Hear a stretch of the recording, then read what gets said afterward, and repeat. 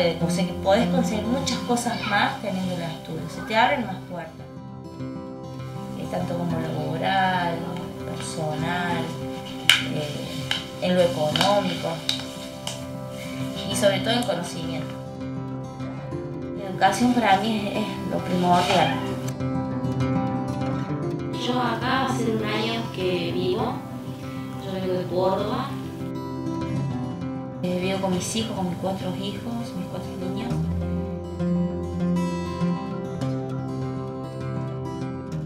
Trabajo acá y estudio allá en Córdoba, en el Selma 107. Bueno, el trabajo hace poquito que, que lo tengo. Recién el viernes se inaugura la sala Puna.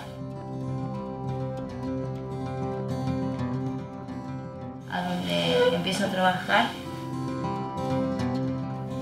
Que me cuida a los chicos. eh, cuando ella puede, así que yo preciso, si no los llevo conmigo al cole y los traigo.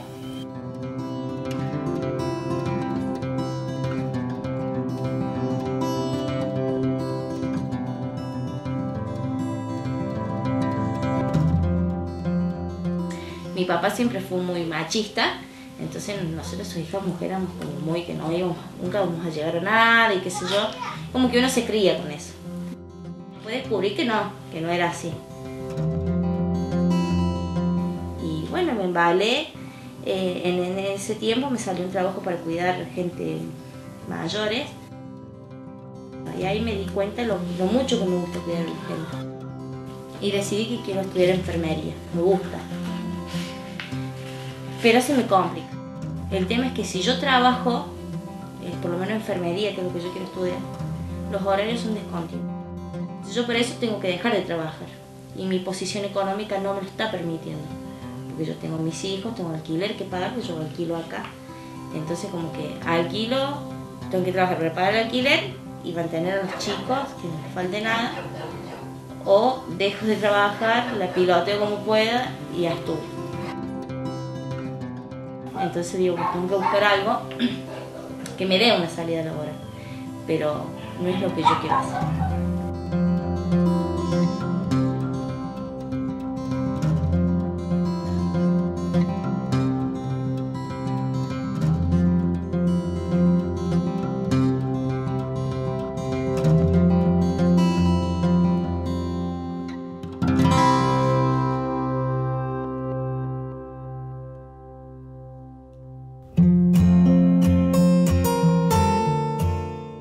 Para mí una buena persona no la hace una escuela, una, institu- una institución.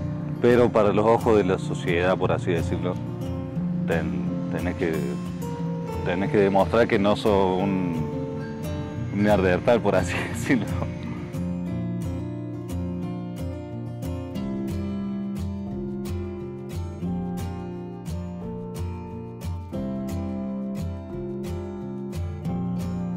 Generalmente me levanto como a las 10 y media, 11, almuerzo como eso de la 1, me ducho y salgo como a las 3, digamos.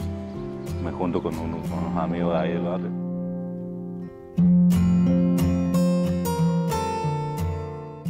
Después vuelvo, como eso de las 5 o 6, me entro a bañar para irme al cole.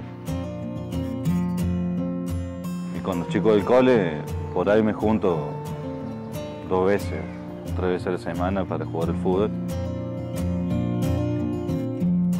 Y me parece que yo ya había, perdido muchos años porque me había repetido muchos segundos, más que todo.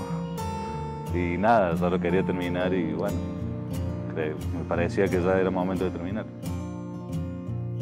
Más que todo por el horario y por la, la afinidad que tienen los profesores, la- esa, esa cierta calidez que te brindan. Porque está re bueno, o sea, te tienen, te tienen consideración en muchos, muchos aspectos que en otro lado no te lo, no te tienen. Primero que nada, para encontrar laburo, por ejemplo, que es esencial, que tener el secundario completo. Si no, son changas que no, no se pueden.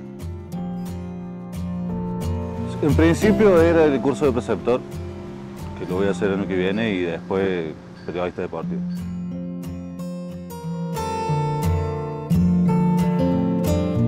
Obviamente influye lo que pasa en lo económico a nivel país, pero eh, yo creo que va a influir un poquito más de mí de lo que pueda dar o no dar yo.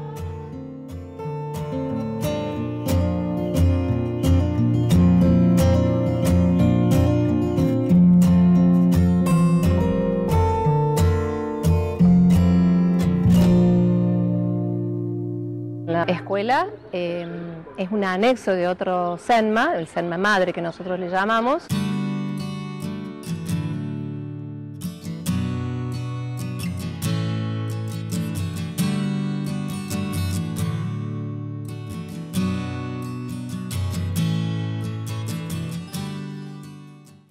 Algo en particular este año que creo que eso también va a generar, si bien es cierto ellos dicen sí vamos a seguir estudiando, a veces pasa que no, siempre genera este, esta articulación directa con la universidad y esto de visitar los distintos espacios hace que, bueno, que tomen más confianza. Pero aparte, eh, particularmente este año estuvimos con un nuevo proyecto que era la Expo Senma, la Expo Carrera de Senma, que lo que pretendíamos era mostrar estudios superiores. Entonces, bueno, como que hemos estado más vinculados con distintas instituciones, no solamente las universitarias, sino también este, terciarios, carreras de oficio, eh, carreras cortas. Eh, así que hay así como una movida especial este año.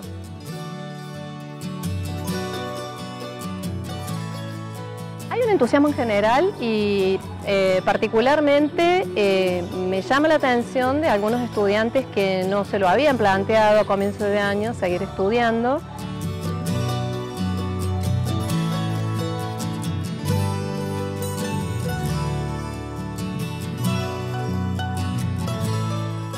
La problemática muchas veces para este, no llegar a los estudios superiores eh, básicamente tiene que ver con, lo familiar y lo económico. De hecho que este año ha sido un año muy complicado para nuestros estudiantes, que si bien es cierto no ha habido una gran deserción en segundo y en tercer año porque hemos hecho un acompañamiento como muy personalizado y tiene que ver con la parte económica, con la situación económica, digamos que la crisis de, este, actual afecta eh, a todos y bueno, y se siente un poco más en los primeros años porque es cuando recién están comenzando eh, con, con el compromiso con el estudio.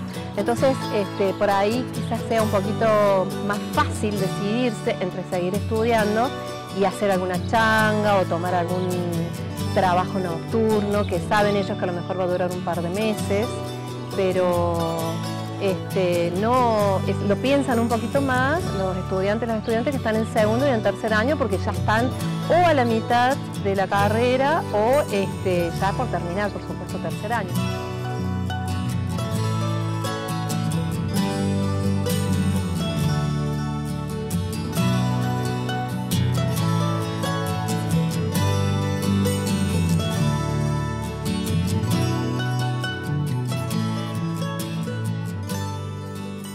Estoy convencida que en la vida uno tiene que estudiar lo que a uno le guste y hacerlo por vocación, no por necesidad.